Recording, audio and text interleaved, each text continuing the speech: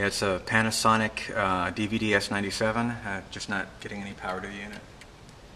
Um, A brand new battery from the remote control, so. um, You know, hold on.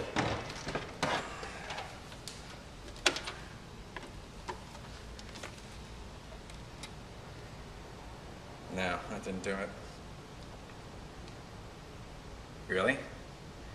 I don't see that would, how that would help, but okay.